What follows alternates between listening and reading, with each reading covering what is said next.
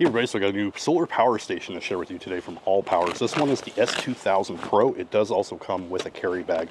Uh, they did send this one over for me to try out and share with you guys. Also, I did get two of the 100 watt solar panels, and I do have those set up in parallel. Now, you will be able to charge this several different ways. If you charge it with solar power, you have, if you charge it with solar power, you have the XT60 connection here, and plug that in with solar power, you can charge it up to 500 watts uh, with a series of solar panels or much larger, more powerful solar panels.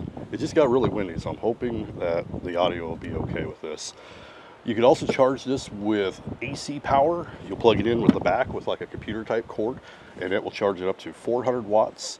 And with DC power, it's going to depend on if you're 12 volt or 24 volt, and it's not going to be quite as powerful or as quick charging. You can also charge this with AC and solar at the same time, and you can get up to 900 watts of charging power at a time. So if you do it that way, you'll be able to charge this in super fast speeds in no time. Anyway, let's talk a bit more about the power station. Also, the solar panels, they do come with adapters, and we do have like an each one does have one of those solar panel adapters and we do have a adapter for other types of power stations and other types of devices to plug in. Also does come with other tips. And the power station also does come with the 12 volt cord. I just misplaced where I put it for now. Now right now it's really cloudy. I don't have any sun whatsoever, but it is still charging at about 70 watts. When I do have full sun, or mostly full sun here, I was getting about 150-ish watts or so. Now this solar generator can power 2000 watts continuous and up to 4000 surge. Now I have not used that much power and I don't, but I have used about 2000 watts I have used. Also for anybody that is wondering, this weighs 32 pounds. Now, if you're in an RV or a trailer, or maybe you just like to take your coffee pot with you outdoors to camping, sometimes you can't have a fire easily, and it is nice to have one of these little compact coffee makers if you can't have a fire.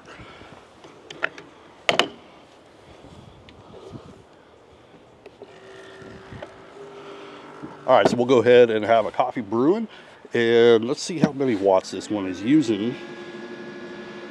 So right now we're using about 1259, 1300 watts. Well, it just dropped to a thousand watts and then it says 108 hours. So, I mean, it might actually go for a long period of time. It really depends on how many wattage, how much watts you're using in this. All right, so it's ending brewing, it's lowering the wattage and the fan's kicked off, so it's not using as much power now. And right now we are getting 60 watts of power input from the solar panels. So we just brewed a 12 ounce Keurig pot and we went from 99 to 96%. So we used 3% of the battery capacity, at least estimated, making one cup of coffee. Now I used to have this microwave in my truck that I drove around. So I've had this for quite a while.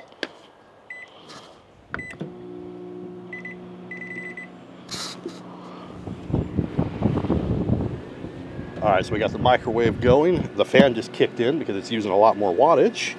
And we are using 1100 watts right now.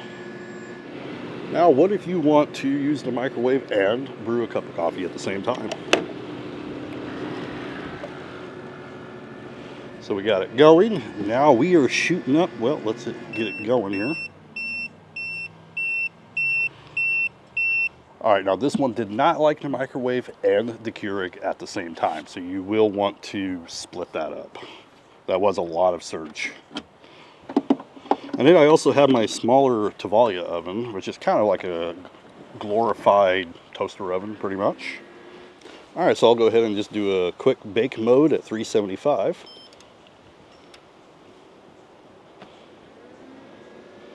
Let that get going. And that shows we're using a little over 1300 watts of power. And the last test I'll do is an 1875 watt hair dryer. So right now, if we're using the low mode, we are using 500 watts, and this will last forever. Do high, kick it up to hot. Let's use the max wattage here. Now this also does have a Bluetooth mode where you can connect it to an app and with the app, you can get more information. Okay, so I do have the app open. Let's go ahead and click on the power station that's on there. It will pop up once you turn that on. And here in the app, you're going to be able to see your input and your output power. And you'll also be able to see your remaining and the remaining time. You can also turn on and off the outlets from here. But like if we turn this on, I'm going to go ahead and turn it on low. The app should, there it goes. It's going to say output 628 watts. It's going to let you know.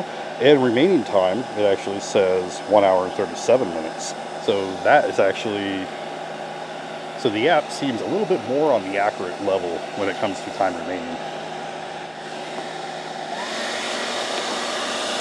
Let's go ahead and crank it up a little bit.